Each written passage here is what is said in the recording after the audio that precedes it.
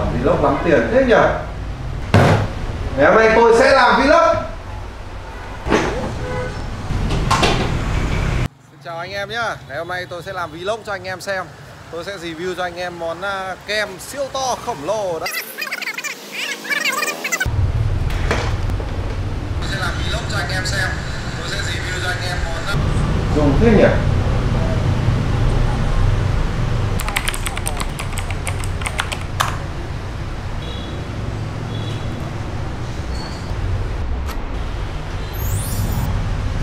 Ngày hôm nay tôi sẽ ờ, review chiếc à, Xiaomi Mija Gimbal dành cho điện thoại này.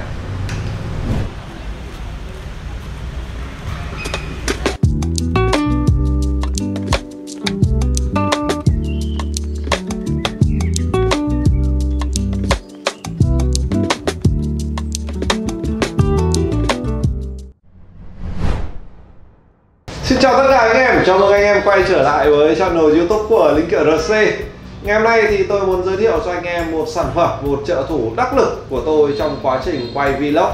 Anh em cũng biết rồi đấy, nếu như quay vlog mà cầm điện thoại à, quay bình thường thì hình ảnh nó sẽ rất là rung và gây ra sự nhức mắt hoặc là khó chịu cho người xem.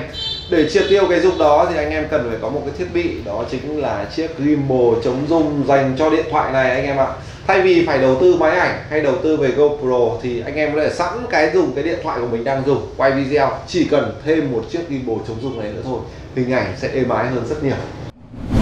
Vâng, nhắc đến gimbal chống rung à, thì chắc anh em cũng không lạ lẫm gì nữa rồi. À, Và hôm nay thì tôi muốn giới thiệu cho anh em một cái sản phẩm của hãng Xiaomi. À, hãng Xiaomi thì à, cũng là một cái tập đoàn điện tử rất là nổi tiếng khi mà sản xuất rất nhiều. Và nên cả flycam thì cũng đã có Xiaomi X8se, Fimi, Mi Drone. Nhưng ngày xưa chúng tôi đã từng review với anh em thì bây giờ nó chính là chiếc gimbal chống rung dành cho điện thoại với tên là Xiaomi Miza Xiaomi Miza thì có một cái thiết kế nó đặc trưng của dòng Xiaomi khi mà cái tông chủ đạo của nó là màu trắng anh em ạ. Màu trắng nhìn rất là sang nhìn nó màu à, màu trắng và có mạ chrome đấy mạ mạ mạ nhìn màu kim loại nữa nhìn rất là sang trọng. Đây là cái vẻ ngoài về của nó. Để giảm thiểu cái vấn đề về chống rung khi mà sử dụng điện thoại thì à, nó sẽ cần phải có ba chục cái như thế này anh em ạ. Thì à, cái chống rung nó mới ổn, ổn ổn định và hiệu quả. Cái thân ngoài vỏ ngoài của nó được làm bằng hoàn toàn màu trắng nhìn rất là đẹp nhìn rất là sang. Tuy nhiên thì màu trắng thì sẽ có cái yếu điểm hơi nhỏ một chút là nó sẽ dễ bị bẩn cho nên là anh em sẽ cần khi mà sử dụng nó thì tay chân nó sẽ sạch sẽ một chút. À, nếu mà không ấy thì à, hay à, chịu khó lau chùi của nó đi thì nó sẽ giữ được một cái vẻ ngoài nó sẽ, nó sẽ sạch sẽ và nhìn nó sang trọng. Cái những cái nút tay cầm của nó thì khá là đơn giản và trên con Xiaomi này làm cho tôi cảm giác nhớ đến rất nhiều các dòng như là à, uh, VM2 nó cũng sử dụng những cái nút như thế này thôi. Ở trên này nó chính là cái bốn cái nút điều hướng của nó để xoay cam xoay cái uh, điện thoại của anh em á và ở dưới này thì nó có nút nguồn và nút chụp ảnh, nút quay phim. Bên này nó là có một cái cò khóa góc để khi mà anh em quay một cái góc thì nó sẽ ấn vào đây, nó sẽ khóa lại cái góc đó. Và khi mà ấn hai phát thì nó sẽ trở lại mặc định bình thường. Ngoài ra thì con này nó có một cái điểm hay nữa anh em ạ. Ở bên này, đấy, cái ngón tay trỏ anh em có thể điều khiển hai cái hai cái bộ phận này nó là một cái nút màu đỏ nữa để là nút zoom out và zoom in để giúp cho hình ảnh với anh em sẽ không cần phải điều khiển ở trên điện thoại mà sẽ chỉ cần gạt cái cái cần này thôi. Rất là đơn giản và nhẹ nhàng. Thì nó đã zoom out và zoom in rồi và hình ảnh zoom nó cũng sẽ rất là mượt. Tất nhiên để sử dụng được tất cả các chức năng và các cái nút như thế này ấy, thì anh em cần phải có kết nối bluetooth và quay vào cái app của nó. Cái cơ bản chống rung cơ bản nhất của gimbal dành cho điện thoại đó chính là tính năng chống rung. Còn lại thì những cái chế độ quay thì nó không khác gì gần như nó rất là cơ bản và nó không khác gì so với cái quay ở trên cái phần cái phần mềm quay mặc định của anh em trên điện thoại đâu tất nhiên nó sẽ có trên cái app của nó thì có một số các cái chức năng như là time lapse hoặc là slow motion thì nó cũng dựa vào những cái thông số của máy ảnh của anh em để phát triển thêm. Nhưng cơ bản nhất của nó là chống rung. Và khi mà anh em kết nối bluetooth với điện thoại thì sẽ sử dụng được thêm những cái chức năng như là zoom zoom và những cái chức năng về ấn quay phim chụp ảnh ở trên điện thoại luôn. Bây giờ chúng tôi sẽ connect thử với điện thoại để thao tác cho anh em xem nhé à, để kết nối điện thoại với chiếc gimbal này thì rất là đơn giản anh em ạ. Anh em chỉ việc gắn nó vào đây thôi đó. Đầu tiên thì chúng ta sẽ cần phải cân lại một chút cho nó thẳng này. Có nghĩa trước khi bật nguồn lên thì anh em để ý nhìn nó sẽ bị hơi bị lệch đúng không?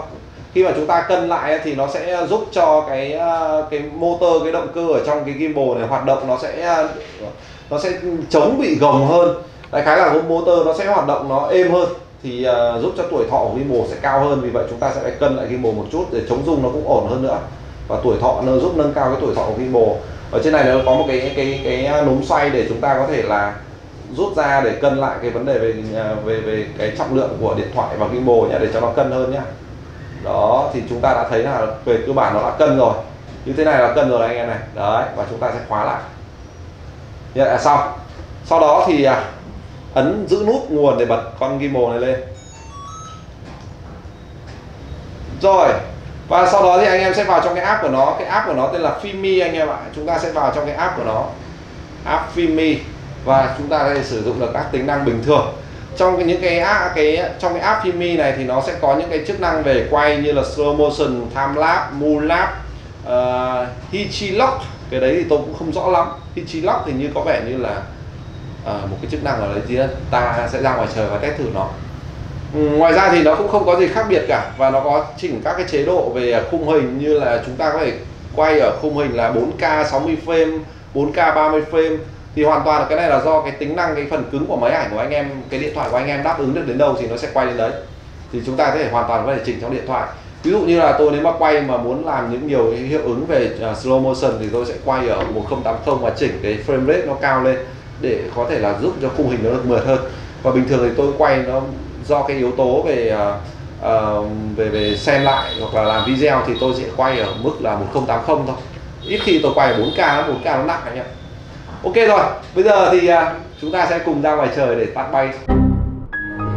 À, bây giờ chúng ta sẽ cùng ra ngoài trời để uh, test thử nó anh em nhé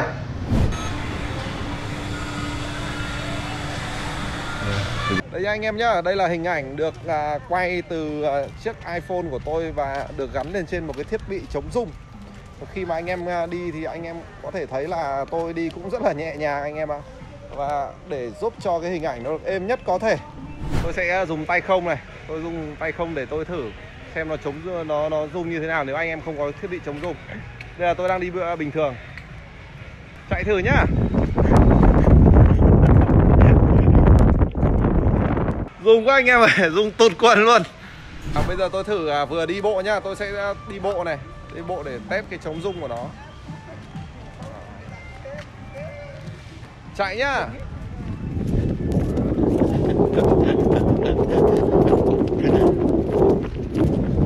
Tôi đã quay ở cam trước anh em ạ.